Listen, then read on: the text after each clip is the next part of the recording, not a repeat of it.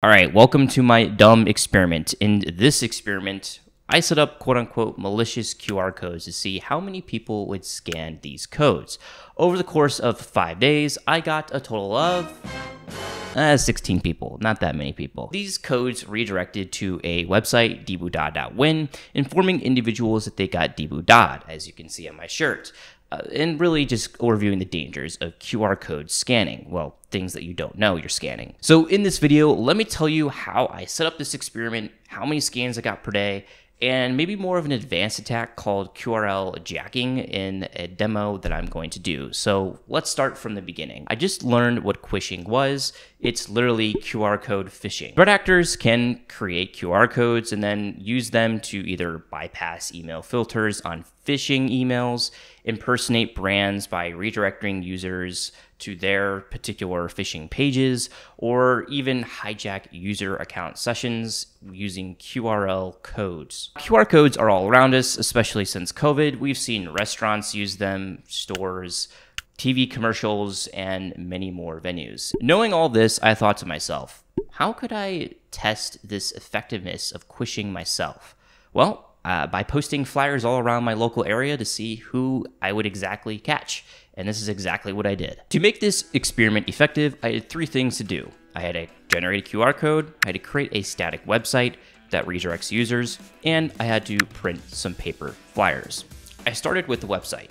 Using a previously registered domain, deeboodah.win, I decided to set up a free Cloudflare Pages website using GitHub to serve my static HTML page.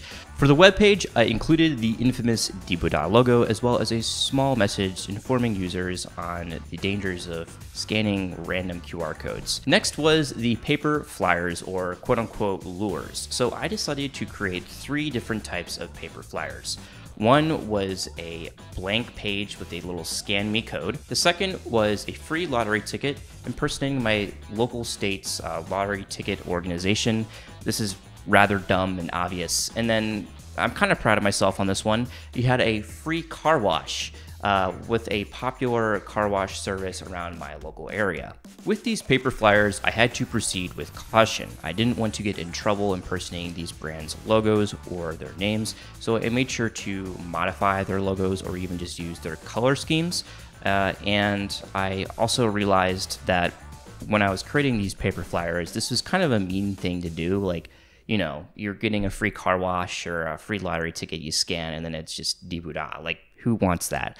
Uh, and so I was contemplating whether yeah, I should even create this video because I, I don't want to come off as being like some some sort of jerk.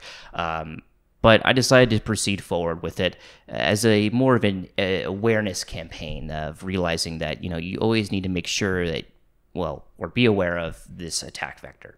Now you also may be thinking here, uh, Grant, your your OPSEC, you just literally gave up your state's location, like you know regional car wash, and my response is I'm one Google search away from seeing my general location. So I just decided to proceed forward. To transition to the final thing I needed, it was a QR code. And during my research, I learned that there are two types of QR codes dynamic and static. As the name suggests, a static QR code is just going to redirect you to a website a dynamic QR code can be changed uh, so that it will redirect you to various websites, even if you're using the same QR code. When you scan a QR code on your phone, the URL will typically pop up on your phone's camera to show where it's going. This is good.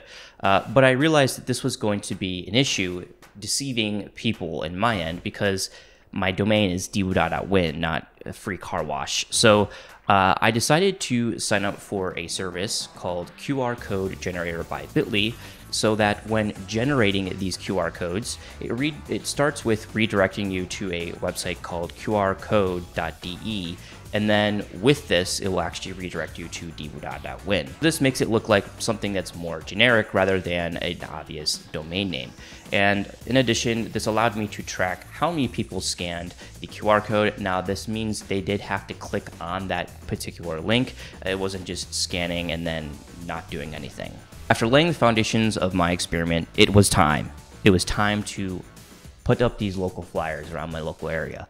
So I printed the flyers. I looked like a lunatic as I was going around with uh, tape and flyer papers on my daily run, people probably were like looking at me like, why is this kid doing this stuff? And to that I say, yes. So I tried not to look conspicuous, but you know, this was like during rush hour traffic. I'm sure people were looking at me as being an idiot. I attempted to place the flyers around high traffic areas with pedestrians. Uh, so I, I, hung them up on trails and stoplights uh, where pedestrians maybe are exercising, running, uh, riding bikes. And uh, I made sure to put three of each of the flyers out there. Uh, and that was it. I laid the foundations. It was waiting time. So over the course of five days, like I said, 16 people. So let's just see what the results actually look like. All right, so up on QR code generator, I signed up for the free 14 day trial and I was able to uh, go ahead and get this QR code. As you can see, it has 16 total scans. Dibu.win is where it redirects. If we drill into the details, it gives you a little bit more uh, information on you know, the who scanned, wh uh, which devices were scanned, and the timeline. So it appears that April 25th, during my five day experiment, had the most with 10 total scans. And you can see the scans by top cities, and here they are. Uh, I don't think that, that that's very accurate. And this is basically what you get with a dynamic QR code. So very anticlimactic results here. Now, during my research of quishing, I stumbled upon a more advanced attack that actually hijacks a user's session and allows attacker to take control over that user account.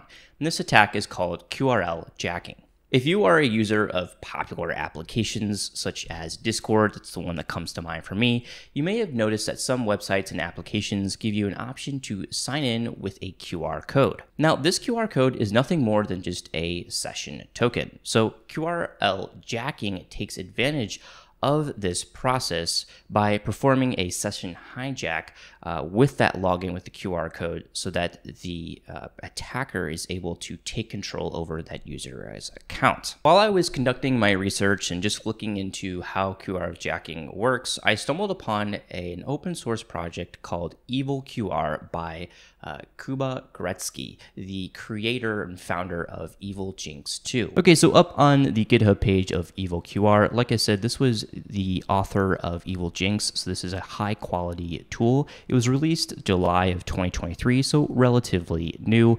And now going through these instructions, you can see that here are the following websites that are supported. I proceeded to go through these instructions, and one of the steps is to actually have you download and install a browser extension for Google Chrome. After following the instructions on GitHub, you will basically run a small little web server that's going to impersonate the uh, attacker's domain. So right now I'm just using my local address here. Switching over to Google Chrome, uh, I have a few tabs open. One is the page for wherever you're trying to sign in. So for example, I'm using Telegram here. This is how you can sign in with a QR code. And if we go ahead and just refresh this, new QR code will pop up. And you're going to see this icon on the top right. And this is Evil QR. If you click this, it's going to basically capture this specific QR code uh, sign in. And it's going to upload this to a phishing website. Now, like I said, in my case, it's going to be my local address.